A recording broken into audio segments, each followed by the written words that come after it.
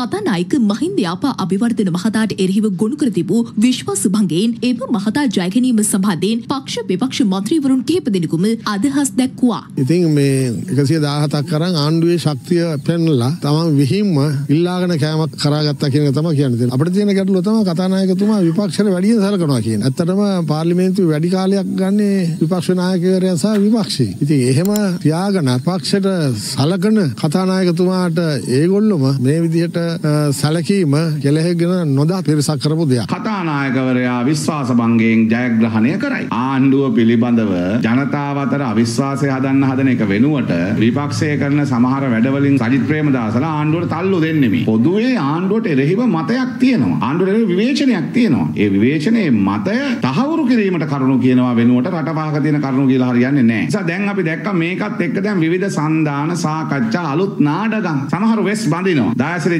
ජයසේකර අලුත් වෙස් බඳීමක් කරනවා දැන් නව සන්දානයක් සඳහා. මං හිතන්නේ රටේ බැලුවොත් එහෙම සන්දාන හදනවා. දැන් ලංසා එක සන්දානයක් හදනවා. දයාසිරි එකක් හදනවා. රොෂාන් එකක් හදනවා. රනිල් තව එකක් හදනවා. බැසිල් තව එකක් හදනවා. නාමල් තව එකක් හදනවා. සජිත් තව එකක් හදනවා. දැන් මේ ඔක්කොම සන්දාන හදන්නේ නැහැ. මාලිමාවට විරුද්ධව. දැන් නිමල් සිරිපාල සිල්ලා ඊයේ පෙරේදා කියනවා පොදු සතුරා JVP එක ප්‍රමුඛ මාලිමාව. මේ රටේ හොරුන්ගේ දූෂිතයන්ගේ වංචනිකයන්ගේ අපරාධකාරයන්ගේ මිනිමරුවන්ගේ පොදු සතුරා ජවිපෙසා මාලිමාව තමයි. හැබැයි නිමල් සිරිපාල ඔයා දැනගන්න අද පොදු සතුරට එරෙහිව කඳවුරු බඳිනවා ජනතාව ජවිප ප්‍රමුඛ මාලිමාවත් එක්ක. හැප්පිලා බලමු අපි. මොකවුද දිනන්නේ?